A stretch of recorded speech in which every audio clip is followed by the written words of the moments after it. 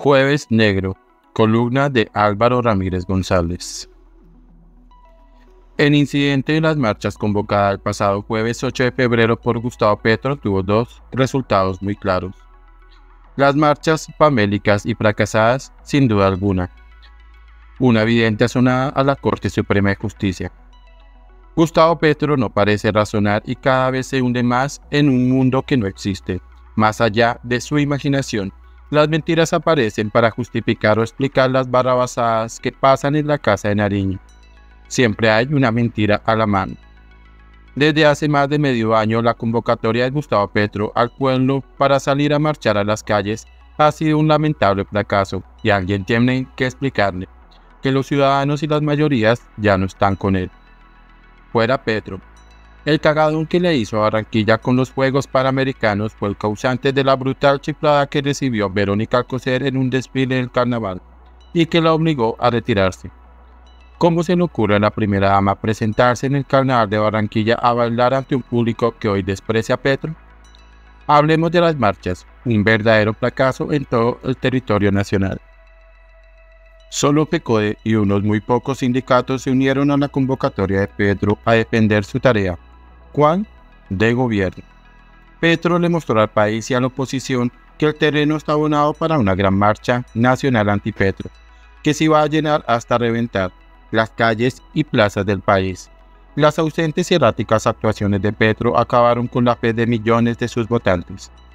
Además, el pacto histórico anda más fracturado que nunca.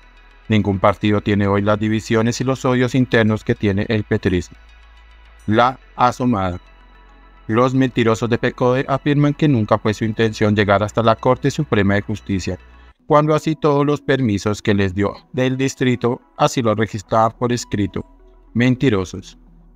El otro gran mentiroso es Gustavo Petro, que dijo en un trino que los magistrados no querían salir y que decidieron trabajar algunas horas más. Mentiroso.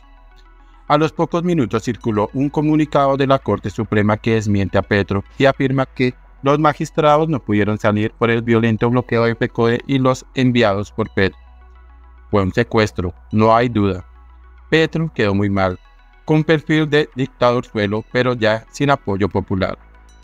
Las candidatas a la Fiscalía General de la Nación tienen las tres una hoja de vía muy malas y la Corte Suprema no tiene, según la ley, ninguna fecha límite para designar al nuevo fiscal.